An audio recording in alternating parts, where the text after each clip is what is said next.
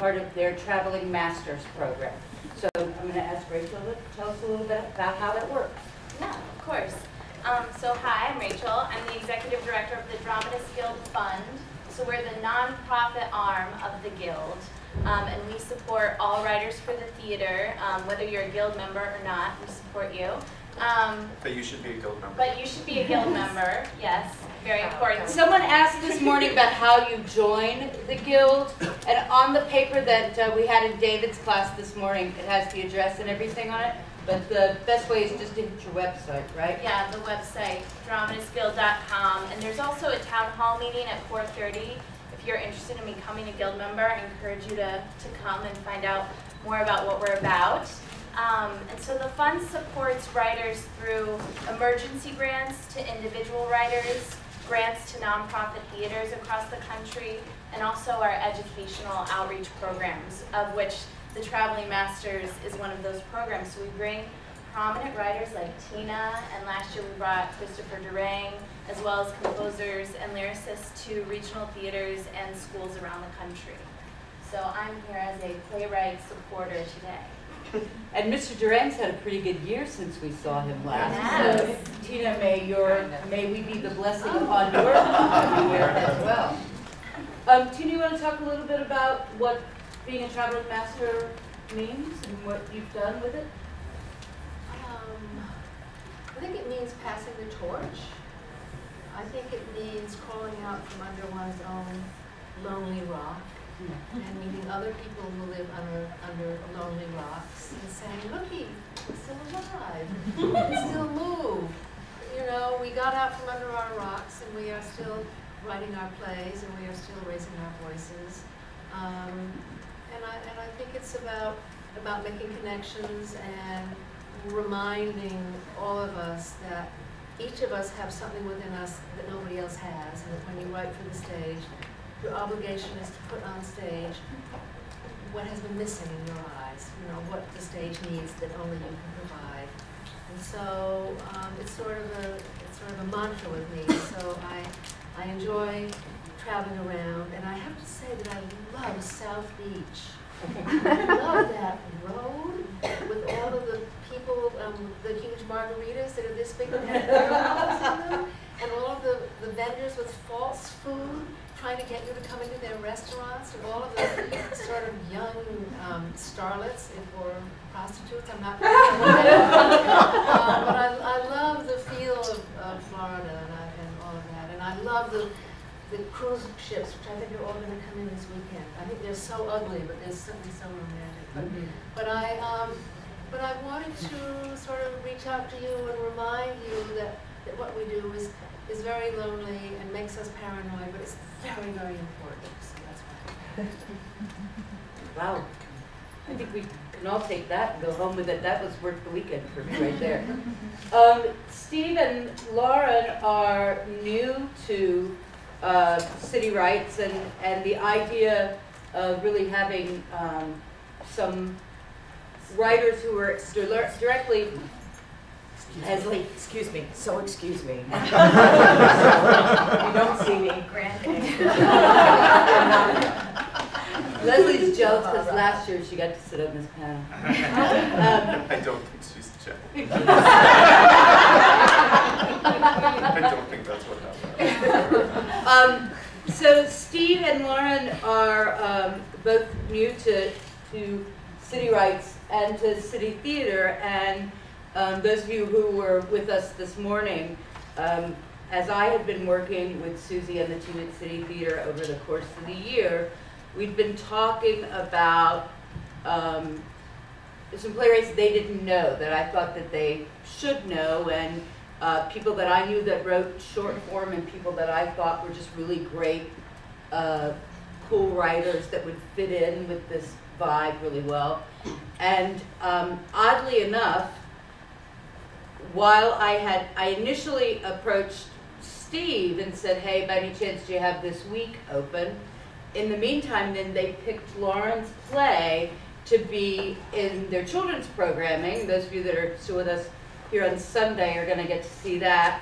And I happen to know, as I think they probably, that Steve and Lauren are the best of friends. In fact, I think Steve was recently Lauren's maid of honor at her wedding. Master of Honor. Master of honor. It's made of, honor. I can own it.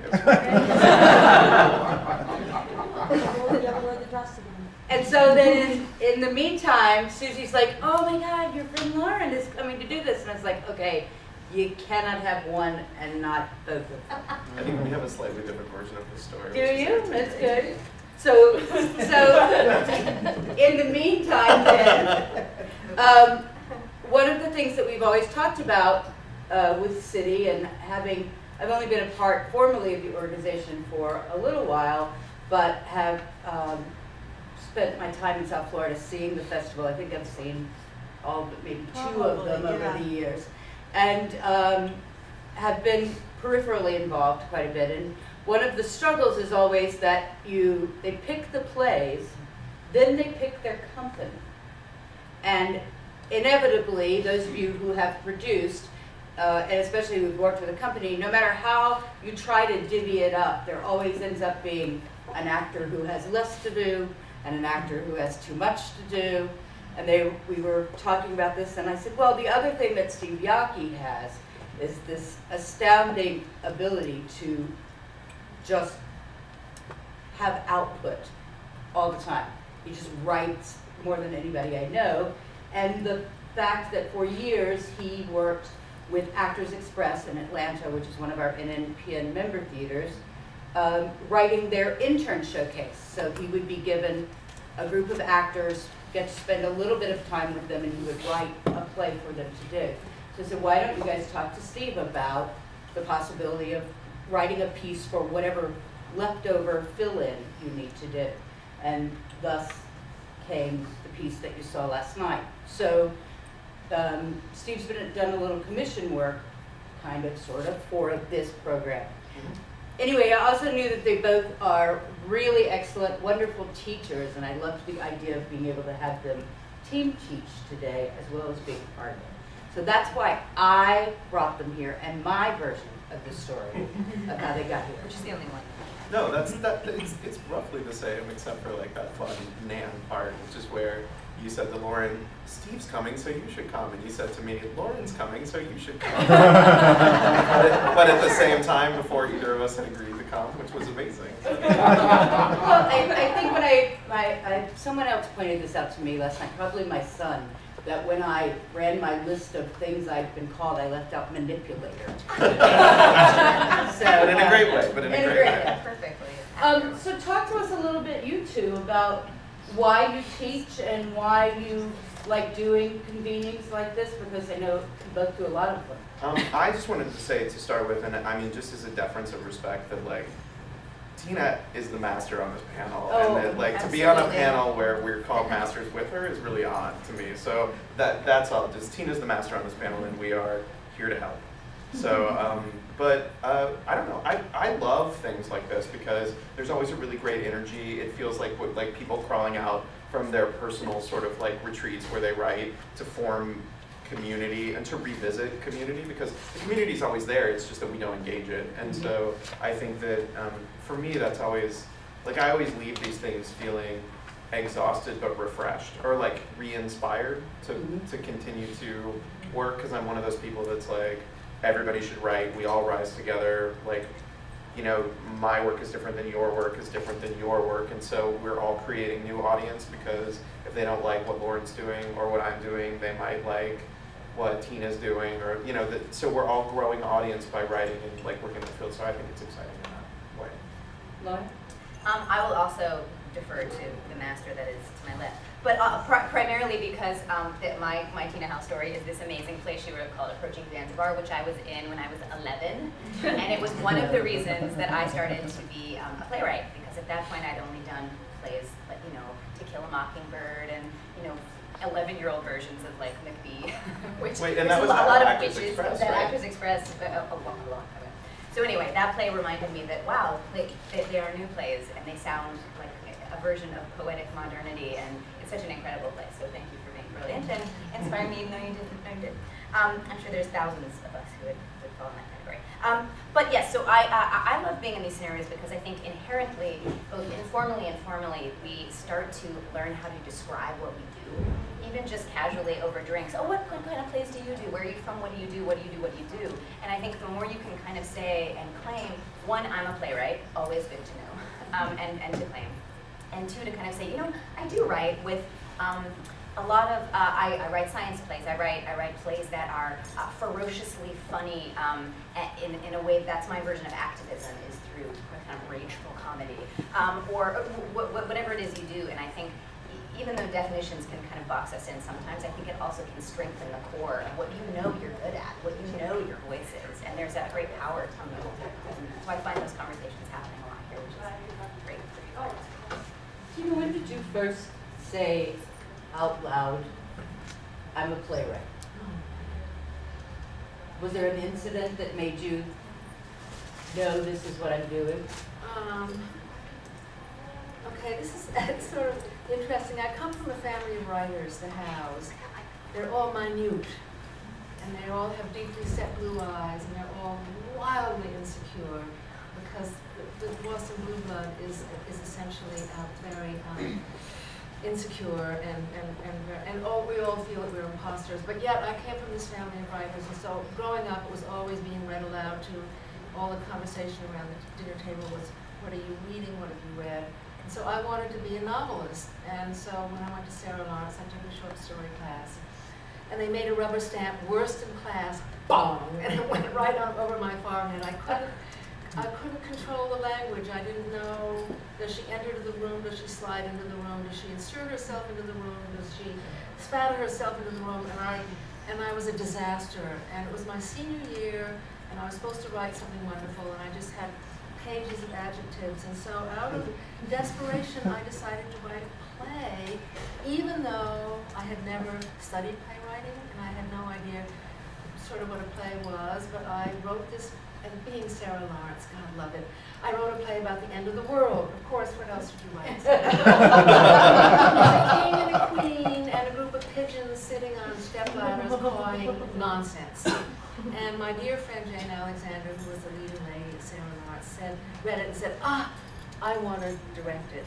And at that point, this was back, you know, in the 18th century, oh, know, people came to school in horses and carriages, and nobody had ever done a play. And a student before, and all the theater department heard was, play me. And so they said, yes, Jane, please do it, thinking that she was going to be in a production of Caucasian Chalk Circles. so she directed this terrible, pretentious play of mine called Closing Time, about the end of the world. And mercifully, two days before it was to open, the lead actress got sick, so Jane took over. And it was a triumph. It was a triumph. Shit, and it was a triumph. The audience was clapping, author, author, what did I know? And I was a D student, and I ran out and started throwing kisses. and a little bearded man came up to me and he said, "Oh, Tina, Tina, I'm I'm a composer. I'd like to turn this into an opera." That was it. You know, I had never studied playwriting. I never went to graduate school. After that extraordinary experience, my father said to me, Tina, you can either go to graduate school for a year or Europe. You know, so of course I said, I'm, I'm going to Paris. So Jane and I hopped on, on an ocean liner. Her excuse was she was going to Edinburgh to study mathematics. I was going to the Sorbonne to study philosophy. Within a week, Jane was acting in The Fringe, and within a week, I was writing great American play in a little garret uh, right over the Pont Neuf. And a friend took me to see um, Ionesco's The Bald Soprano, and seeing that play, which was really about my family, because they're very high blown and lots of conversation, but basically it's all gibberish. But as with this performance, it was done completely, you know, sans froid, with a with a straight face, all of this gibberish. Tiens, deux and I'm like, bon, on mange bien ce soir. I was gone, and I thought, oh, this is this is it. This is this is what I should do. That Ionesco sort of mimes and um, explores and transforms life as in terms of the male world of power and identity, and it is my job to do this for women. But I never went to graduate school. I never had a mentor. I never had some kindly older man on the head and say how talented I was. I, I really don't. I don't really know what um, restoration comedy is. I don't know much much of anything, and I sort of taught myself. But um, and I think because I'm self-taught, um, as a teacher, because I never had a mentor, I desperately want to be that old man, that smelly old man who has a limp and a kidney problem. Terrible laugh, that- that There's something in me that I never had that, and so I wanted to give that out. So that's the answer. Well, I know that has been such an important part of your life and career. Do you, do you find yourself, uh, as you have grown as a, as a playwright, has how you've mentored people changed? Um, Well, now that we started an MFA, Hunter, um, and we can choose our students, they're, they're ever so much more uh, accomplished. Because in the old day, any, anybody that was getting a master's in theater could take the class and they think, oh, playwriting, that sounds like fun. But now we get writers who have been around the block a few times and who have had productions. And um, I'm sort of in awe of them, and I feel, I mean, I always feel, I said before to some people, that I feel my job as a teacher is to be a mirror. Because I'm so tall, I can be a full length mirror. my job is to reflect their play back to them. And whatever it is that they're trying to do, I have to sort of walk through the mirror and help them build that up. And so I've never really had an agenda. I think, I think what we need more than anything, all of us, is um, is, is, is to be seen and is to be recognized, to be acknowledged. And I think it's rare for students to be acknowledged, and I think it's rare for us as playwrights to be acknowledged. And so I'm just this big mirror walking around, and I don't think anything's changed, except I've gotten terribly old, and I keep telling everybody, playwriting is so hard. I'm really 20 years old. this is what happens. This is what you follow. So, um, no, I have wonderful students, and, and, um, and they teach me. So, I don't know what else to say. Lauren, I know you are actually, you came through the Young Playwrights Inc. program, which um, I don't know if you're aware, but our scholars are being worked with with them this weekend, and those folks are actually teaching a teacher lab today. Um, you obviously had some wonderful mentors along the way and have uh, helped shape careers. So the idea, we can, yes, we all acknowledge Tina's at a different level of masterdom, uh, but do you feel that it's important for you to do that, pass along, to be the mirror for people? Well, uh, I, w- I have benefited greatly from, from great advice. I feel like I have had fewer mentors. Um, I I feel most of my time uh, until I was 20, whenever I was in grad school, I didn't take a playwriting class ever. It was just, you know, reading Beckett first, which means my first 10 minute plays were nutty. um, and then kind of reading Tennessee Williams and then Miller and kind of going, oh, oh, oh, okay, okay, okay. And then of course realizing, wow, there aren't that many women playwrights that I can read in my local library. I need to go seek those out. Um, and so all of that was kind of developing my, my own voice and, and through productions that I was able to get when I was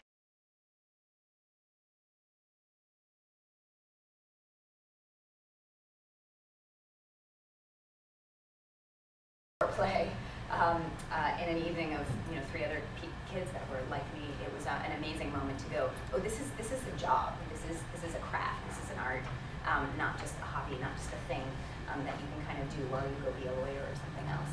Um, and so it, it, it kind of oriented me that way. But but I, I definitely feel in many ways self-taught to a point where I was desperate to for the grad school experience, which provided me this sense of, of structure and how to get some of the messy thoughts um, into to, to walk a little bit, not in a straight line, um, but in the same direction. um, so like everyone just just walk over there. You can walk at diff- different paces into your different gates, but everyone aimed towards the, the climax, please. um, so that, that that definitely helped me. But I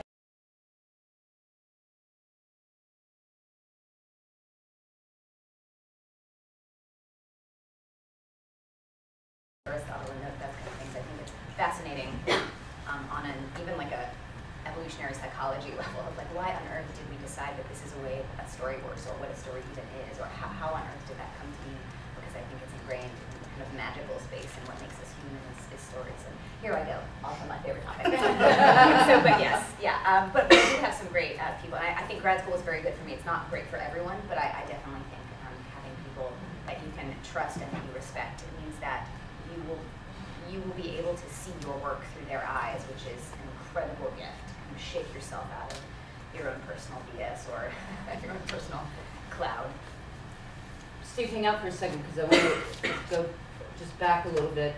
Um, because both of you talked about being women playwrights and how that's different. And I know it's something the Guild has a great interest in. Those of you who follow 2 AM theater and Ra- HowlRound and know that there's been a lot of um, sort of political upheaval in the last few weeks about women playwrights. And I have to say, I was astounded the other night when we lined all of you finalists up. And what, I think there were two, would have been three men, um, and the rest of you were women. And the idea um, that there aren't women playwrights is obviously silly. The idea that women playwrights aren't getting produced at the rate that they are, that's another level of discussion. Um, but talk a little bit about how that world has changed, Tina, in your career. And then Lauren, I'd love to hear what you think as a woman at this level, how it feels to you about that. Yeah, the numbers are still not good. I was very active on the Lilly Award that um, Theresa formed four years ago when, after the drama, uh, drama awards, whatever they were, the drama desk, um, nominations came out and there wasn't one woman and she emailed a group of us at two in the morning saying, what do we do about this? And Marsha Norman by nine AM said, we have our own awards. So now we have the Lillys where we give awards not only to, to female playwrights, but, you know, actors and designers. Um, and Julia Jordan always speaks, she's, she would help one or two, and, and the numbers are still very bad. However, um, I find that, that more and more women are being produced, and it was very interesting. Yesterday, I met with some of the young um, scholars, we call them the high school kids, and it was all women and one guy. And, Nine, and, yeah. and the majority of the women were young African American women. And I said, I just have to tell you, I'm on the Lark, which develops plays by sort of emerging, more than emerging, really sort of almost there playwrights, and that there's a there's a real noise being made by the emerging um, young Black American uh, female writer that this is that this is really happening, and that I have and I'm friends with a lot. You know, Pretoria, I was there to hear on the mountaintop, and Chisa Hutchinson, and Tanya Barfield, and you know, countless others, and there's something's really happening there. And even though, see, here's what's tricky. Here's what's really tricky. The numbers aren't great, but nothing is more depressing than hanging out with the women who are always complaining about, oh, nobody does our plays, and it's always the men. And, and it's, a lot of these women are sort of, dare I say it, women that have never been produced and that are really pissed off because they're not being produced. And so mm. they, it's all about the, the glass being half empty and, mm. and this tirade. And, and I've been asked, I'm I'm awful, I hope this isn't being taped. I've often been asked to join. Going straight, it's being streamed out over the internet, all over everywhere. No. I don't do the internet. I don't even know what streaming is. Don't worry about it, it's fine. You're fine, you haven't said anything that's, gonna- just don't use any names. No, I would never use names. But, but here's the point that, that what um, Theresa and, and, um, and um, Marsha and Julia Jordan wanted to do is they wanted to celebrate the female voice. And so by creating the Lillys, okay, so maybe only seventeen percent of plays being done are by women, but what wonderful women they are and what wonderful plays they are. And, and I think there was recently, um, when, uh, Ensemble Studio Theater announced their upcoming, uh, you know, um, marathon of what, twelve plays and two of them, it's immediately a great uproar. And I ran into Billy Carden, who's the artistic director, and I said, Billy? And he said, I know, I know, I know. A lot of things went wrong at the last minute. So my sense is that things are starting to relax and that, and that women, it's not that we hate men and it's not that we're angry at men necessarily. It's just that we want to, we want to celebrate our own voices. And I think as long as we look at, at the glass as being half full, I think things are really helpful. But if you're a political activist, maybe you would bite my neck and say that I'm wrong. No, I think you're absolutely right. Oh. I, I think there's a couple of different levels, but um, it's true absolutely that the numbers aren't kind to female directors, female writers, female design. But, but one thing that was interesting to me is um, to look at it from the numbers of female uh, roles written, whether by men or women, because I'm actually sitting next to one of my favorite feminist writers. I was just gonna say, Steve's work is incredible, and his female characters are deep and complicated and evil and wonderful and joyful and all of the things. Um, and so I think it's, this is where men and women can come together, because really what the issue is is female story. That, and often even if um, you know Shakespeare great roles for women, except there are generally like two out of the twenty roles are women. So we have either to choose from Ophelia or Gertrude, and well, they both die, and, and, they and you know we, they, they aren't given a lot of development, and it's all in the context of man. So there's there's a lot of the issue of like how we can all help that even place um, is not just through female writers, of course, that's that's um, enormously important, but to look at the plays that are being done and do count these numbers. In San Francisco, there's a, a wonderful movement that's coming about from this kind of feminist community, and uh, unfortunately, some of it is a little aggressive, um, and and I, I don't think that's helpful ever, um, because I think we're smarter than that and, and classier than that, uh, and, and that's how you that's how you win is out outclassing people. Um, and I, I do think that um, so what we found though is that oftentimes, certainly in equity, and at least the Bay, way more of the equity contracts go to men than women, and then it's a labor issue. Um, if you have the exact same number of male and female equity actors, but the roles that, that uh, in the plays that the theaters are choosing outweigh vastly um, the female opportunity that's, that's there, then and that's not that's not quite fair. So it it's a moment for you as a writer because it starts with you guys to and, and I consciously go, am I assuming that's a man? Does it have to be? And sometimes yes, it does, and I can't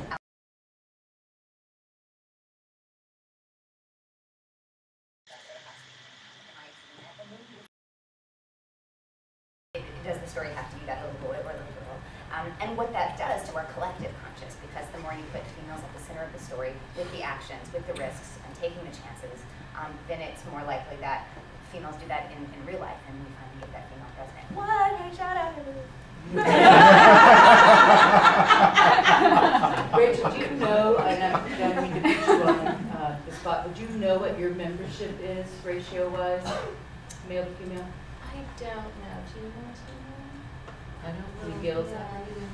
Usually numbers are fairly even. Like Yeah, whatever. I would so. I would assume that it Yeah. is, and I, I often, I was, you know, you get to the point where you're passing out sage advice, I really have found myself doing this often recently, which has made me realize I've really crossed over that age line.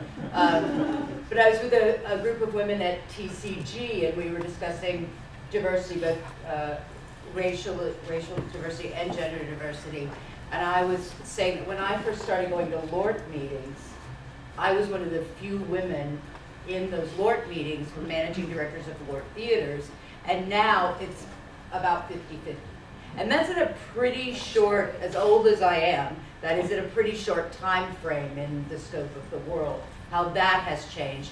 And a lot of that changed because there were, there became uh, theater admin programs across the country, where those management programs, there used to be, there were so few of them, and they were turning out mostly male students. Once there was an explosion of those programs, and the programs became more available, then there were more women students, more women who were being trained, and people couldn't keep them from the jobs. And frankly, what's interesting, it's not just a we're being nice and fair thing. Sixty percent of the ticket of the audience, the butts in seats, are female.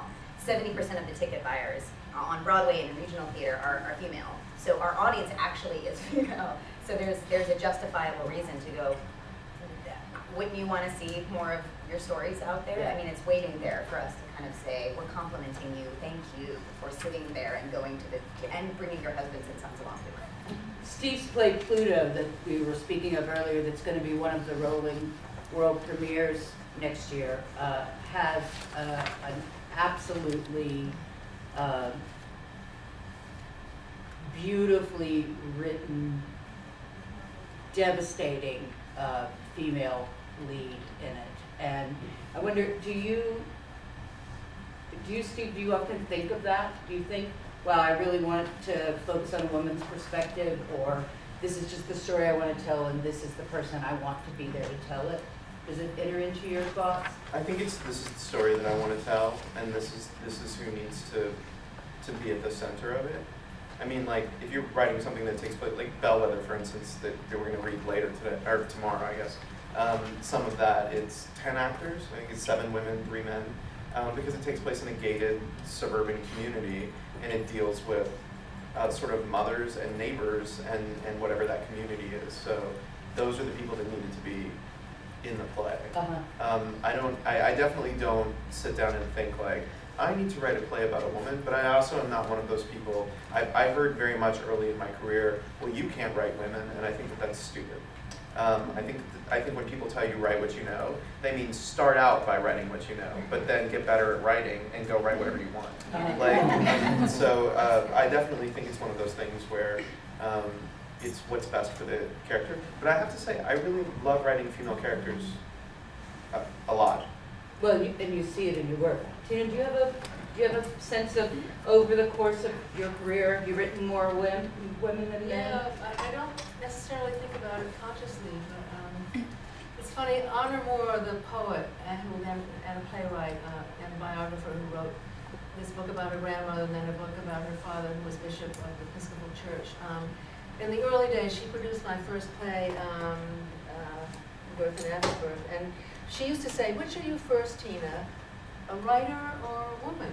And I said, oh, I'm a writer, because I come from a family of writers, and I never knew I was a woman until I was about forty years old, because I just never thought I'd be married or a mother, I just was a brain, a sort of a goofy, a goofy clown, a generous goofy clown who liked to write. And it wasn't until I began writing plays that it seemed to me were all about women um, and women's issues that I realized, oh, no, no, I'm a woman first. Um, because it's, but I was never conscious of, of that. And when I tried to join a women's group, oh God, I, I gotta tell you this. Okay, in the height of the women's movement, we lived in, in Columbia County. There was a women's group that met in Columbia County in, in Hudson, New York. And I didn't know any of them. And, and we all sat in a circle and we were all in our thirties. And I was ushered in, I didn't know anyone. And, and we began sharing. And so the first woman goes, oh man, I just had a baby and I, I don't know what to do with it and I, I'm so afraid the baby's gonna die and I'm so inept and the baby cries and my husband's at work. All I do is cry all day. I'm just, I'm just so miserable. I, nobody explained. The next woman, I have three children and all they do is cry and fight and my husband's working at the gas station and I don't know what to do and I don't know what to do with them and my other friends aren't any help.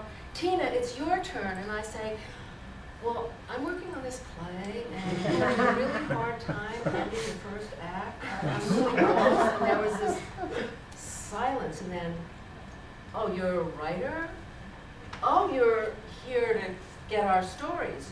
You're here to take our stories and steal our stories. Out, out, out of the room. Hmm. That was my first experience with the women's movement. I was banned.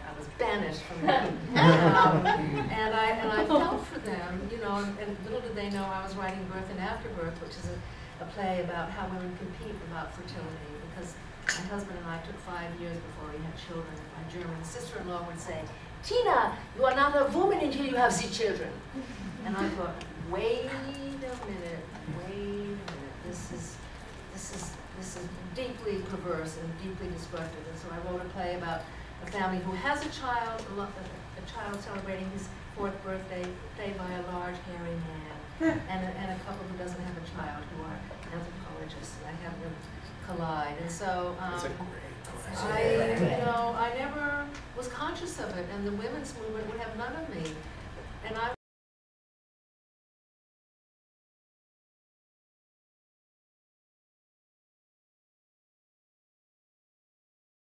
is to write. I think it's about writing about what you know. I think it's about writing about what you don't know.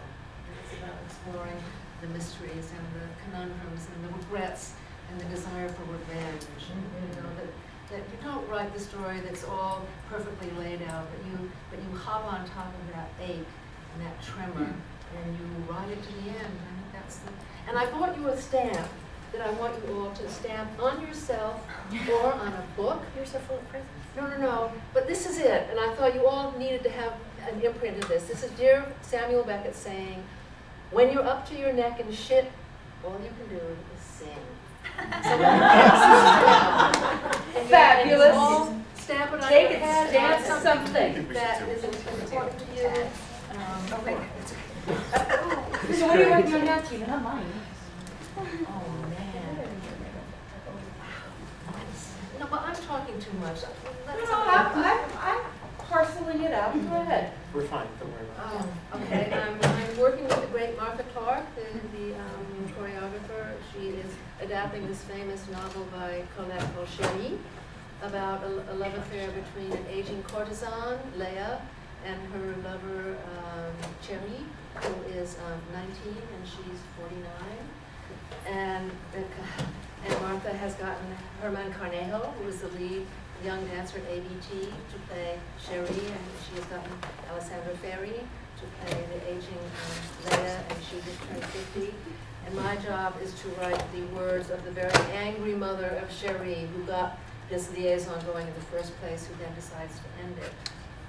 But almost, I mean, and that's very exciting because now I'm in a position that I do whatever Martha tells me because she's, mm-hmm. she's the auteur and she's the one who, she talks visually. She says things to me like, Tina, when you speak, I never listen to a word you say, I just look at your face. She says, Tina, I don't want the sound of falling petals in this piece, I want the sound of falling glass. You know, and so I write things, and she says, no, no, no, too flowery, too literary, and I say, anything, anything you want.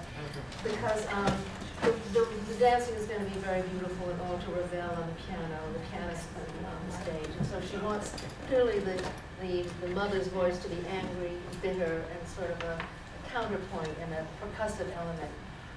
But the other thing I'm working on, um, Martha Clarke knows that I'm this Bach freak, and she sent me this YouTube of this young man, Evan Shinners, who plays, who graduated from Juilliard uh, two years ago. And the YouTube is Evan Shinners playing a Bach two-part invention on two pianos, sitting on a stool between two uprights, playing each piano at the same time.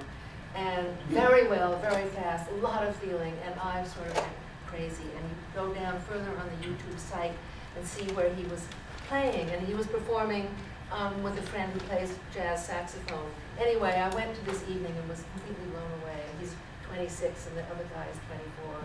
And afterwards, they all went out and I had to go home and be an old lady. And he said, you have an email? Because I told him how much I admire his work. And he emailed me and he said, if you ever need actors, let me and Jesse know. So suddenly I am writing a play for this preternaturally talented young man who plays Bach lickety-split and his buddy who plays jazz saxophone. And what play? Who am I writing the play for? Summer Shorts in New York City. Because Summer Shorts, run by John McCormack, has done two of my plays, and they're very much like your Summer Shorts, Yes. except their plays are a little longer. And I knew, and I said, do you ever do music? And he said, well, we're just starting to do music. So I'm writing this piece for these two wildly talented guys, and I am oh, over the moon, and we start rehearsal next week, so. Exciting. Yeah. Susie wants to say something. I do. Um, first of all, I, I was, I want to say to so many of you who are in the room from places so very far away, uh, like Bend, Oregon, and Idaho, and Chicago, and San Francisco, and Los Angeles, and all of those remarkable, fabulous places, that we all owe a debt of gratitude to Rachel Routh, who in fact has, uh, has this marvelous, this marvelous program called the Traveling Master. Because of that program, we have Tina Howe sitting here in the room with us. And I would recommend that all of you speak to Rachel and say, how do we get traveling masters to come to our communities too? because this is such a brilliant thing, and, it, and we are of the oral tradition as playwrights. And here we have, you know, these three amazing writers with us sitting here, of that are coming, that, are, that come to their approach and work so generously, and share with us. Um, but I really, I really have to say that because of Traveling Masters, that led to CityWrights Masters. And hopefully next year there will be even more masters, masters to us all. But um, I really, I really do want to thank you, Rachel, for uh, being here and for providing this program and for partnering with us, because this is the third year. We have Lisa Kron the first year, Chris Durang